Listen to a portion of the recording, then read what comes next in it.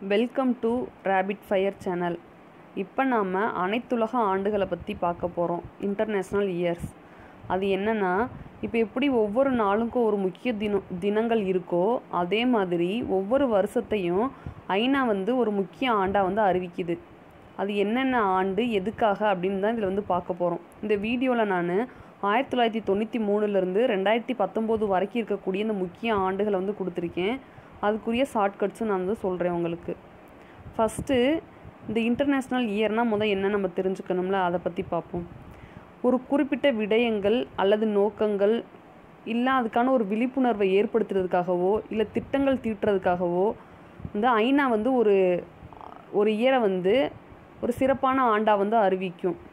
இதை யார் வந்து உருவாக்குவானா ஐக்கிய நாடுகளோட பொதுச் செயலர் தான் இந்த ஐநா அனைத்துலக ஆண்டை வந்து உருவாக்குவார். இந்த ஆண்டு இதுக்காக வந்து நம்ம திட்டங்கள் தீட்ட போகிறோம் விழிப்புணர்வு ஏற்படுத்த போகிறோம் அப்படின்னு. அதுக்கடுத்து இதை வந்து யார் அறிவிப்பானா ஐக்கிய நாடுகளோட பொது சபை தான் நமக்கு வந்து அறிவிக்கும். ஐக்கிய நாடுகளோட பொது சபை தான் எல்லா ஆண்டுகளையும் அறிவிக்கும்னு இல்லை. ஐக்கிய நாடுகளோட துணை நிறுவனங்களும் வந்து இந்த ஆண்டு வந்து இதுக்கு தான் அப்படின்னு வந்து அறிவிக்கும். எக்ஸாம்பிளுக்கு வந்து யுனெஸ்கோ இந்த ஆண்டுகள் அறிவிக்கிறது வந்து எப்போ இருந்து ஆரம்பிச்சிருக்காங்கன்னா ஆயிரத்தி தொள்ளாயிரத்தி ஐம்பத்தி ஒம்போதுலேருந்து ஸ்டார்ட் பண்ணியிருக்காங்க ஆயிரத்தி தொள்ளாயிரத்தி ஐம்பத்தி ஒம்போதுலேருந்து ஆயிரத்தி தொள்ளாயிரத்தி அறுபது வரைக்கும் என்ன ஆண்டாக வந்து சிறப்பிச்சிருக்காங்கன்னா உலக ஏதிலி ஆண்டு. ஏதி அப்படின்னா ஆயுதம் அப்படின்னு அர்த்தம். இதுக்குரிய தீர்மானம் வந்து என்னென்னா பொதுச்சபையில் இதோட தீர்மானம் வந்து என்னென்னா ஆயிரத்தி இரநூத்தி எண்பத்தி அஞ்சில் பதிமூணாவது தீர்மானம். இப்போ வந்து எப்படி சொல்கிறதுனா இப்போ இந்த வருஷம் வந்து இப்போ நம்ம ரெண்டாயிரத்தி பத்தொம்போதாவது வருஷம் வந்து தொழில்நுட்ப ஆண்டு அப்படின்னு சொல்கிறாங்க இல்லாட்டி பழங்குடி மக்கள்களின் மொழிகளை பற்றின ஆண்டு அப்படின்னு அறிவிச்சிருக்காங்க. இப்போ ஒரு இந்த இயர் வந்து ஒரு ஒரு விடயத்துக்கான ஆண்டா அப்படின்னா இல்லை. ஒரு வருஷத்துலேயே ரெண்டு மூணு விடயங்களுக்கான ஆண்டாவும் வந்து இப்போ வந்து அறிவிச்சிட்டு இருக்காங்க அப்படி ரெண்டாயிரத்தி ஒம்பதாவது ஆண்டு வந்து ஐந்து விடயங்களுக்கான ஆண்டு ரெண்டாயிரத்தி ஒம்பது மட்டும் ஐந்து விடயங்களுக்குரிய ஆண்டாக வந்து இருக்குது இப்போ பார்ப்போம் நைன்டி த்ரீலேருந்து நான் உங்களுக்கு ஷார்ட்கட் ஒரு குட்டி குட்டி கதையாக சொல்கிறேன் இது வந்து எக்ஸாம் டைமில் மறந்து போகாமல் இருக்கிறதுக்காக மட்டும்தான். ஃபஸ்ட்டு ஆயிரத்தி தொள்ளாயிரத்தி தொண்ணூற்றி மூணு. இது மக்கள் தொகை கட்டுப்பாட்டு ஆண்டு. ஆயிரத்தி தொள்ளாயிரத்தி தொண்ணூற்றி நாலு. பன்னாட்டு குடும்ப நல ஆண்டு. ஆயிரத்தி தொள்ளாயிரத்தி தொண்ணூற்றி அஞ்சு. பன்னாட்டு சகிப்புத்தன்மை ஆண்டு. ஆயிரத்தி தொள்ளாயிரத்தி தொண்ணூற்றி ஆறு. பன்னாட்டின் வறுமை ஒழிப்பு ஆண்டு. ஆயிரத்தி தொள்ளாயிரத்தி தொண்ணூற்றி ஏழு பன்னாட்டு இயற்கை சீர சீரழிவுகளின் ஆண்டு. ஆயிரத்தி தொள்ளாயிரத்தி தொண்ணூற்றி எட்டு பன்னாட்டு பெருங்கடல் ஆண்டு. ஆயிரத்தி தொள்ளாயிரத்தி தொண்ணூற்றி ஒம்பது பன்னாட்டு முதியோர் ஆண்டு. ரெண்டாயிரம் வந்து நன்றி தெரிவித்தல் மற்றும் அமைதி பண்பாடு ஆண்டு. இப்போ ஆயிரத்தி தொள்ளாயிரத்தி தொண்ணூற்றி மூணுலேருந்து ரெண்டாயிரம் வரைக்கும் அப்படி லைனாக இருக்குது இந்த சைடு வந்து லைனை நான் அப்படியே ஒரு குட்டி கதை மாதிரி சொல்கிறேன் எனக்கு தெரிஞ்சதை சொல்கிறேன் உங்கள்கிட்ட ஃபஸ்ட்டு வந்து மக்கள் தொகையை கட்டுப்படுத்தணும்னா என்ன செய்யணும்? குடும்ப கட்டுப்பாடு பண்ணணும். அந்த காலத்தில் வந்து குடும்ப கட்டுப்பாடுனாலே அந்த சகிப்புத்தன்மை வந்து இல்லை பெரியவங்களுக்கு. இப்போ மக்கள் தொகை அதிகமாக அதிகமாக வறுமை மட்டும்தான் அதிகமாக வந்துக்கிட்டே இருந்துச்சு. இந்த வறுமை அதிகமாக இருக்கிறத பார்த்துட்டு கடவுளே ஒரு இயற்கை சீற்றத்தை வந்து கொடுக்குறாரு. அதாவது சுனாமி மாதிரி ஞாபகம் வச்சுக்கோங்க. அது எங்கேருந்து வந்துச்சுன்னா பெருங்கடல்லேருந்து வந்துச்சு. இதில் அதிகமாக பாதிக்கப்பட்டவங்க வந்து முதியோர். அதில் காப்பாற்றப்பட்ட முதியவங்க வந்து அமைதியான முறையில் வந்து காப்பாற்றினவங்களுக்கு வந்து நன்றி தெரிவிக்கிறாங்க அப்படின்னு ஞாபகம் வச்சுக்கோங்க. மக்கள் தொகை கட்டுப்பாடு குடும்ப நலம் சகிப்புத்தன்மை வறுமை இயற்கை சீரழிவு பெருங்கடல் முதியோர் அமைதியான முறையில் வந்து நன்றி தெரிவிக்கிறாங்க அப்படின்னு. அடுத்து ரெண்டாயிரத்தி ஒன்றுலேருந்து ரெண்டாயிரத்தி அஞ்சு வரைக்கும். ரெண்டாயிரத்தி ஒன்று பன்னாட்டு மகளிர் அக அதிகார ஆண்டு. ரெண்டாயிரத்தி ரெண்டு பொருளாதார வளர்ச்சிக்கான சுற்றுலா ஆண்டு.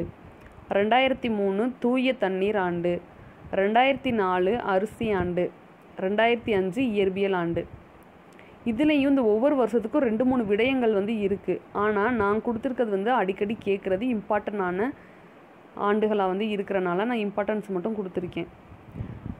ரெண்டாயிரத்தி ஒன்று இந்த இந்த ரைட் சைடு இருக்கிறத நான் அப்படியே ஒரு கதை மாதிரி சொல்கிறேன் மகளிர் இப்போ வந்து லேடிஸ் வந்து சேர்ந்து சுற்றுலா போகிறாங்க டூர் போகிறப்ப என்ன செய்வாங்கன்னா தேவையான தண்ணியை வந்து பொறுப்பாக எடுத்து வச்சுக்குவாங்க. சில ரெண்டு மூணு நாள் தங்குற மாதிரி இருக்கிற இடத்துக்கு போனாங்கன்னா அரிசி எடுத்துகிட்டு போய் சமைப்பாங்க. இது இயற்கையாகவே எல்லா லேடிஸுக்கும் இருக்கக்கூடிய ஒரு குணம்னு கூட சொல்லலாம். மகளிர் வந்து டூர் சுற்றுலா போகிறப்ப தண்ணி அரிசி இதெல்லாம் எடுத்துகிட்டு போகிற பழக்கம் வந்து இயற்கையாகவே இருக்கும். இயற்பியல் இயற்கை அப்படின்னு ஞாபகம் வச்சுக்கோங்க. நெக்ஸ்ட்டு ரெண்டாயிரத்தி ஆறுலேருந்து ரெண்டாயிரத்தி பத்து வரைக்கும். ரெண்டாயிரத்தி ஆறுலேருந்து ரெண்டாயிரத்தி பத்து வரைக்கும் ரெண்டு ரெண்டு இயர்ஸ் வந்து முக்கியமான இயராக வந்து இருக்குது அது என்னென்னு சொல்கிறேன் ரெண்டாயிரத்தி ஆறு பாலைவனமும் பாலைவனம் மாதலும் ஆண்டு. இன்னொன்று தகுதிக்கேற்ற தரம் ஆண்டு. ரெண்டாயிரத்தி ஏழு துருவ ஆண்டு மற்றும் டால்ஃபின் ஆண்டு. ரெண்டாயிரத்தி எட்டு உருளைக்கிழங்கு ஆண்டு மொழிகள் ஆண்டு. ரெண்டாயிரத்தி ஒம்பது வானியல் சாஸ்திர ஆண்டு இயற்கை இலைகளின் ஆண்டு. ரெண்டாயிரத்தி பத்து உயிரியல் பன்மை ஆண்டு பண்பாட்டு நல்லிணக்க ஆண்டு. இதை இதை வந்து ஒரு குட்டி கதை மாதிரி சொல்கிறேன் பாலைவனமும் பாலைவனம் மாதலும் அப்படின்றதுலேருந்து ஆரம்பிச்சு. பாலைவனமும் பாலைவனம் மாதலும். இந்த தகுதி வந்து டால்ஃபின் வாழ்கிறதுக்குரிய தகுதி இல்லை. பாலைவனமும் பா பாலைவனம் வந்து எதுக்குரிய தகுதி இல்லைன்னா டால்ஃபின் வாழ்கிறதுக்குரிய தகுதி இல்லை. ஏன்னா டால்ஃபின் வந்து துருவ பகுதியில் மட்டும்தான் வாழும். அடுத்து வந்து உருளைக்கிழங்கு மொழிகள். டால்ஃபினுக்கு வந்து ரொம்ப பிடிச்ச உணவு வந்து உருளைக்கிழங்குன்னு ஞாபகம் வச்சுக்கோங்க. உருளைக்கிழங்கு. அதுக்கு நம்ம பேசுகிற மொழிகள் வந்து புரியும். ஸோ நம்ம கொடுக்குற உருளைக்கிழங்கை வாங்கி சாப்பிட்டுக்கிறோம் வானியல் சாஸ்திரப்படி டால்ஃபின் கிட்ட போகிறப்ப இயற்கை இலைகளை தான் நம்ம அணிஞ்சிட்டு போகணும். இதுதான் நம்ம டால்ஃபினுக்கு காட்டக்கூடிய பண்பாடு. உயிரினங்கள்கிட்ட நம்ம காட்டக்கூடிய பண்பாடு இதுதான். ஃபஸ்ட் வந்து சொல்கிறேன் பாலைவனங்களில் வந்து டால்ஃபின் வாழ்கிறதுக்குரிய தகுதி இல்லை. டால்ஃபின் வந்து துருவ பகுதியில் மட்டும்தான் வாழும். அதுக்கு பிடிச்ச உணவு வந்து உருளைக்கிழங்கு. நம்ம பேசுகிற வந் மொழிகள் வந்து அதுக்கு வந்து புரியும்.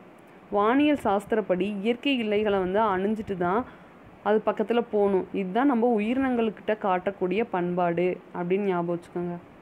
அடுத்து ரெண்டாயிரத்தி பதினொன்றுலேருந்து ரெண்டாயிரத்தி பதினஞ்சு வரைக்கும். ரெண்டாயிரத்தி பதினொன்று பன்னாட்டு காடுகள் ஆண்டு. ரெண்டாயிரத்தி பன்னெண்டு பன்னாட்டு கூட்டுறவு ஆண்டு. ரெண்டாயிரத்தி பதிமூணு பன்னாட்டு நீர் கூட்டுறவு ஆண்டு. ரெண்டாயிரத்தி பதினாலு பன்னாட்டு படிக உருவியல் ஆண்டு. ரெண்டாயிரத்தி பதினஞ்சு பன்னாட்டு மண்களுக்கான ஆண்டு. இது எப்படி ஞாபகம் வச்சுக்கிறதுன்னு சொல்கிறேன் காடுன்றது வந்து பெரிய இடமா இருக்கும். அதை போய் நம்ம வந்து கூட்ட முடியாது. அதை கூட்டக்கூடிய ரெண்டு சக்தி எது எதுக்கு இருக்குது காற்று வேகமாக காற்று அடித்தா அந்த குப்பையெல்லாம் ஒரு ஓரமாக போய் ஒதுங்கும். இல்லாட்டி மழை பெய்கிறப்ப அந்த நீரை அடிச்சிட்டு வர்றப்போ வந்து அந்த குப்பை அந்த டஸ்ட்டு அந்த இலத்தலைகள்லாம் ஒரு இடத்துல போய் வந்து குமியும். அப்போ காடை கூட்டக்கூடிய ஒரு சக்தி நீருக்கு தான் இருக்குது நீர் கூட்டுறவு. அப்படி அடிச்சிட்டு போகிற குப்பைகள்லாம் படிகம் மாதிரி படிஞ்சுக்கிட்டே வரும். இப்படி படிக்கக்கூடிய எல்லாமே மக்கி நாளடைவில் என்ன சொல்கிறது சத்தான மண்ணாக ஆயிரும்.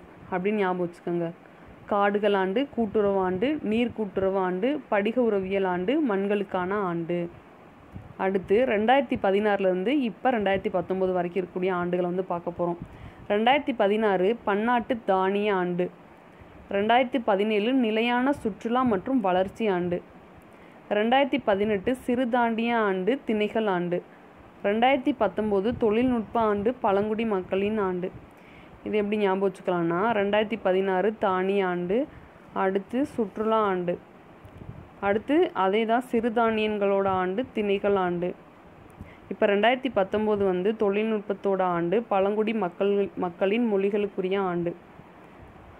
இப்போ ரெண்டாயிரத்தி பத்தொம்போது வந்து தொழில்நுட்பத்துக்குரிய ஆண்டாகவும் பழங்குடி மக்களுக்குரிய ஆண்டாகவும் வந்து அறிவிச்சிருக்காங்க. அவ்வளோதான் இந்த வீடியோ உங்களுக்கு பிடிச்சிருந்தா லைக் பண்ணுங்கள் இந்த மாதிரி வீடியோஸ் உங்களுக்கு தொடர்ந்து கிடைக்க என்னோடய சேனலை வந்து சப்ஸ்கிரைப் பண்ணுங்கள் தேங்க்யூ